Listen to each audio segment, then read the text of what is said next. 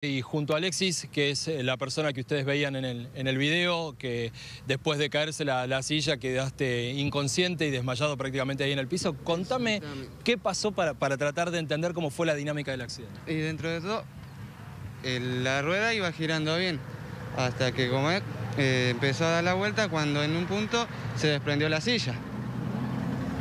Se desprendió la silla y vinimos para abajo. O sea, fue de golpe. Fue de golpe todo. Pero se escuchó un ruido porque eh, muchos dicen que te movías, que te sacudías. No, eso es mentira, eso es mentira. Y más que nada vine por eso, porque también escuché que dijeron que estaba ebrio y nada que ver. No es así. ¿Vos estabas sentado, estabas con, con tu hijo? Eh, Estaba con mi hermano. ¿Con tu hermano? Es mi hermano. Ah, tu hermano. Es mi hermano. ¿Cuántos años tiene tu hermano? 14. Ujú. ¿Él se lastimó, se hizo algo? Eh, sí, se lastimó. Le- hoy, hoy a la mañana le empezó a salir sangre por el oído también, cosa que como es, ninguno de acá del, de los del parque te, eh, fueron a preguntar cómo estábamos, nada. ¿Cómo, ¿Cómo fueron los momentos previos? Digo, ¿había algún ruido, algo que te dé una indicación de que algo mal estaba? Nada, ningún ruido. Yo lo único lo que, que- que sentí fue que de golpe se desprendió el asiento y nos vinimos para abajo. ¿Golpeaste contra el piso o contra la- la- las vallas que están rodeando el juego? Primero lo que yo sentí fue el golpe, no sé si fue por uno de los fierros, por algo, y me tiró para el otro lado.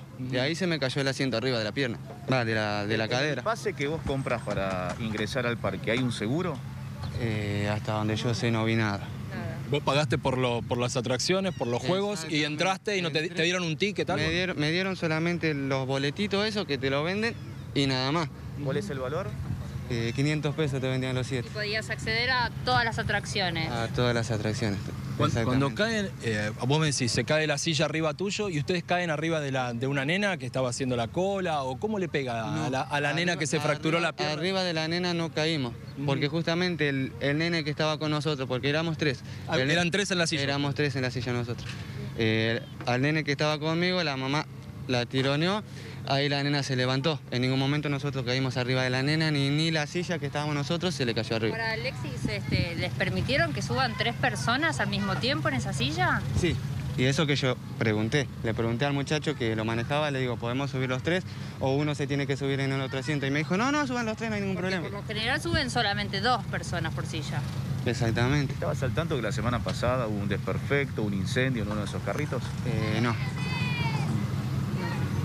Por lo menos en el parque ustedes lo veían hace ya algunos días, ¿no? Que estaba, que Sí, estaba hace, acá dos en semanas, hace dos semanas creo que estaba. dos semanas. Y, y siempre estuvo, estuvo bien, ven- viene mucha gente, estaban, o sea, no, no había nada que llamara la atención, no pasó nada con otra atracción, con otro juego. Y hasta donde yo sé, no. No, Porque fue la primera vez que yo vine. claro. Que quede claro, Ale, que vos no estás autorizado, que venga el SAMI y que haga. Exactamente.